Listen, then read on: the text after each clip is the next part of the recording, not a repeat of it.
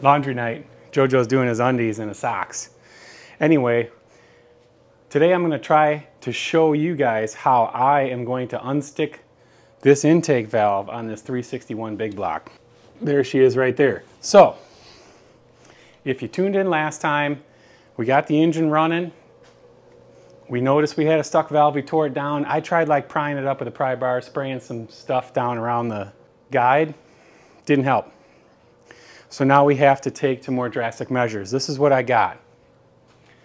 I have asking politely, asking with a little bit more force, and then finally, we're done asking, we're telling. I'm hoping not to have to use that.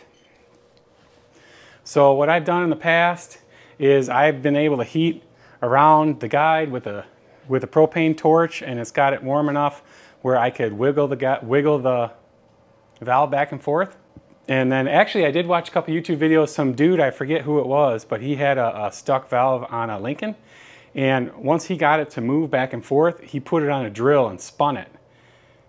And then worked oil in there with the drill, with it on the drill. So that's actually a really good idea. I, you know, I don't want to go reefing on it too hard because I'm afraid I'm going to bend the stem of the valve and then it'll be no good.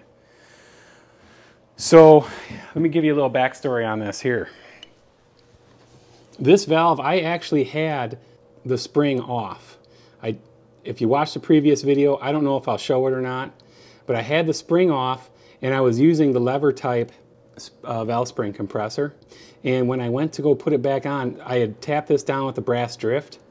I pushed it down too far, I can't pull it back up. So I'm having a hard time putting the other keeper in the valve because it's down near the I mean, right around here, it's getting pretty close to coil bind. So I bought a different type of valve spring compressor. I bought this El Cheapo Hobo Freight, Harbor Freight valve spring compressor.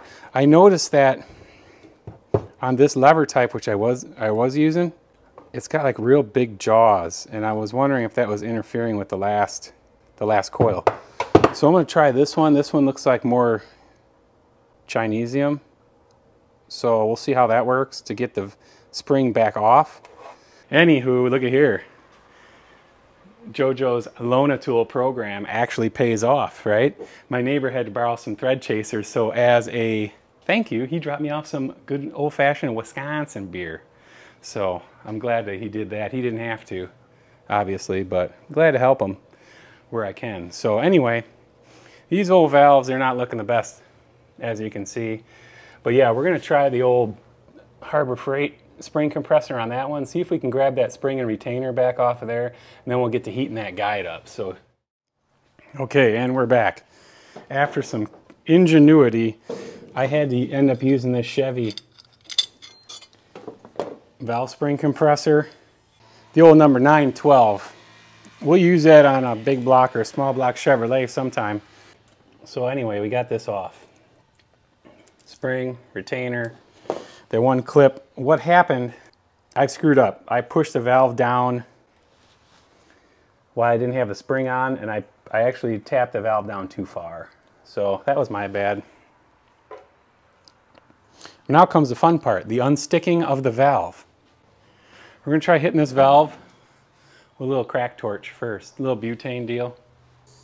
See what happens. She's pretty stuck in there. Before I do this, I probably should put the vice grips on the valve itself. Ooh.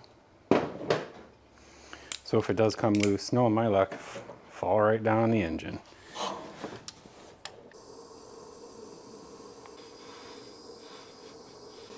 How hot does an engine get? I don't know. Pretty hot, I guess.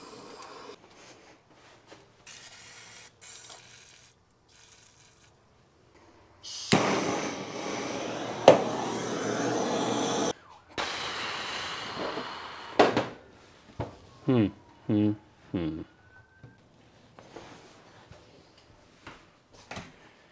Let's see what that does. we're going to use a little persuasion. All right, we're done asking. We are telling.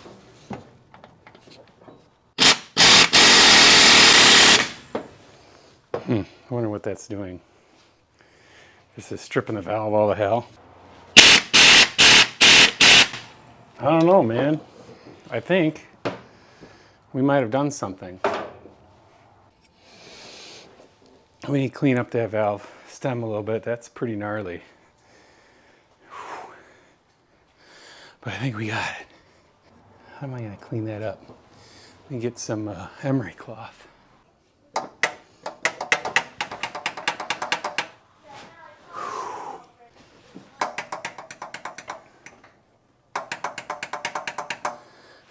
Hey, Daryl. Daryl